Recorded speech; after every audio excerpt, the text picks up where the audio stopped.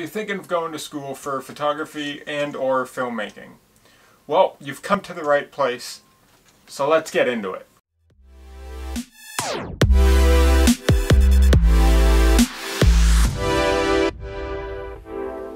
What is going on everybody?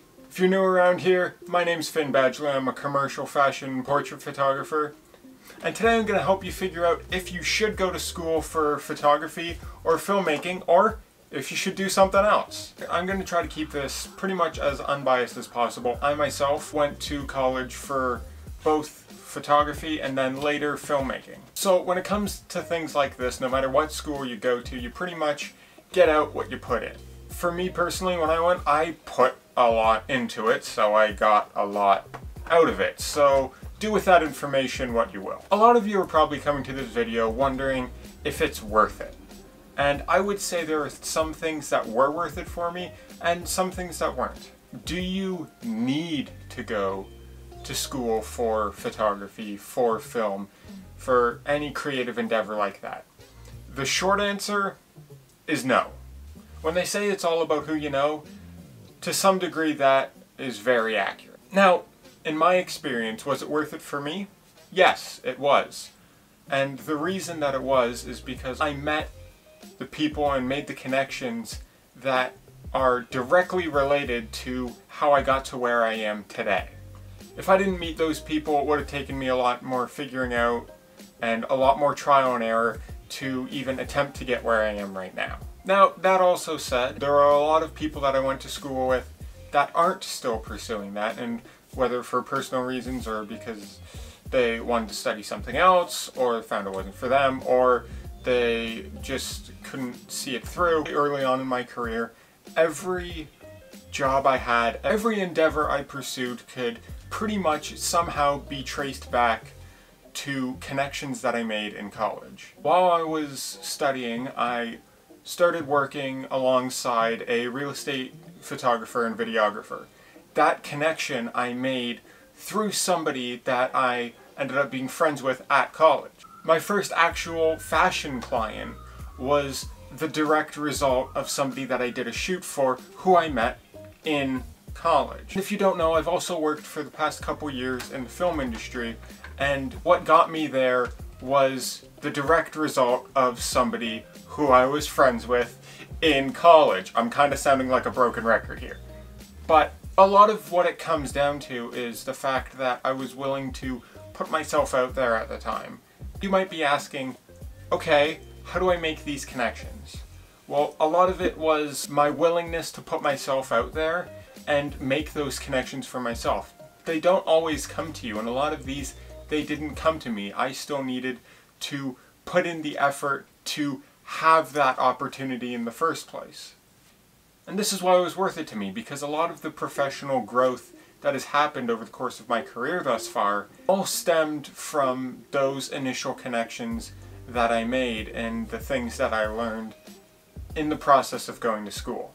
Now, I also have to acknowledge while that was how I made all these connections in the first place, it would take a little more me figuring out what I was doing and a little more trial and error. And it might take a little longer because of that, but there's also less upfront cost there so it becomes a way a game of pros and cons really. Now, for a lot of people, college is extremely expensive and can put you in debt for the majority of your life.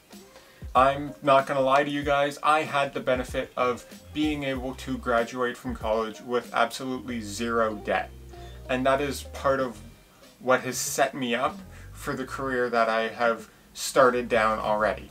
But I also want to acknowledge that for a lot of you, my story isn't the same as yours and you may not be in a situation that would allow you to come out of college with no debt and you'd be carrying that and that would burden you and your career. So if you are looking into college or university or anything like that for photography and filmmaking and you are going to go into serious debt to do so, I may recommend against it. Now, the other thing that made it worthwhile for me was that going in, I didn't quite really have a sense of my artistic style and my voice and how I wanted to express that. And through the two years of photography and one year of filmmaking that I took, it allowed me to figure out my style and my voice and where I wanted to go in the world. And that positioning has set me up for the road that I've already started down. And that's not to say that I wouldn't have figured out that style anyways. I, I definitely think I would have. Just like I said earlier though, it probably would have taken more time and had a lot more trial and error involved with it. And that said, there is also some industry secrets that I learned along the way that have allowed me to kind of expedite this process a little bit. And you'll also hear the advice of if you do want to go and get the college experience, we'll call it, that maybe business or marketing or something like that would be smarter to go into because then it can give you that business knowledge of how to create a sustainable career for yourself and how to market yourself effectively. And then with that, take the photography or the filmmaking courses kind of alongside that. Myself, I actually kind of did the opposite. I wanted to be really hands-on in studying photography and filmmaking, but alongside that, I also took all the business courses, economics, marketing that I could, and then also learned all of that on the internet anyways because it's the majority of it is right where this is. Like it's and that's another thing too. That you can learn so much online that it may not even necessarily be necessary for you. To be frank, the amount that I have learned actually out there in the world working on set, whether it be in film production or on various photography sets, whether it be me assisting for somebody else or me running the show, I learned more in the process of that in a month, two months, than I did in my entire schooling. And they'll even tell you that in school. It's learning the fundamentals so you can go off and do that, and you end up learning so much so fast once you get there. Now, was the knowledge that I got out of it really worth it?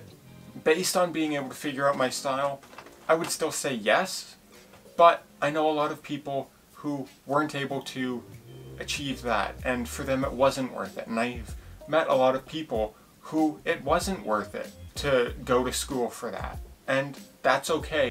I don't want you to necessarily feel pressured based on this societal idea of, oh, you need to go to school to succeed. Creative fields like these, you really don't need a degree or a diploma at all.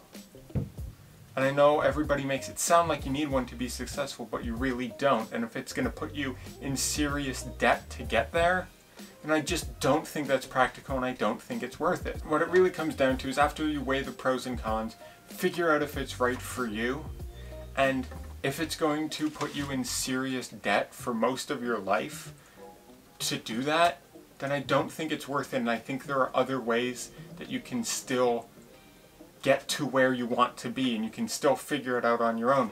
Forge your own path.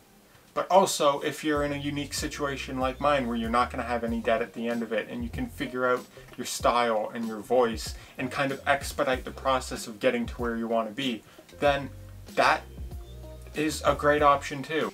And whether or not you even go to school for it, while you're practicing and honing your skill, you can reach out to other photographers or filmmakers and offer to assist them. So that way you can learn as quickly as possible and get that actual on-set experience that is so, so valuable.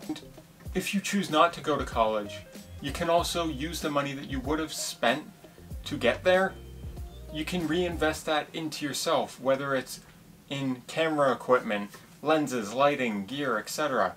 Or traveling, finding new experiences, or anything in between. The, the sky's the limit. But if you invest in yourself, you can also get to where you want to go a lot quicker and more effectively. So that was a bit of a long-winded answer and probably less direct than you would want it to be, but you really have to look at what is going to be best for you. And I think deep down, you'll know it was right for me, and thus far it's worked out, but it might not be right for you. And that is 100% okay. Now, with that all said, thank you guys for watching. Show the like button some love. Comment down below if you like to see this kind of thing. Subscribe, hit the bell to be notified when I post new videos, and I'll see you on the next one.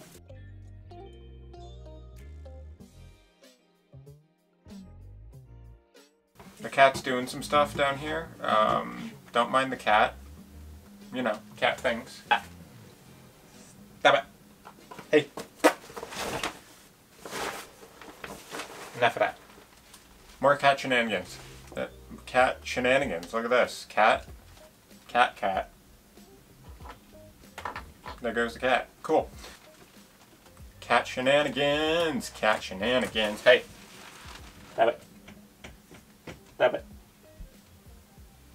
You want to say hi? There goes my light. But here's a cat.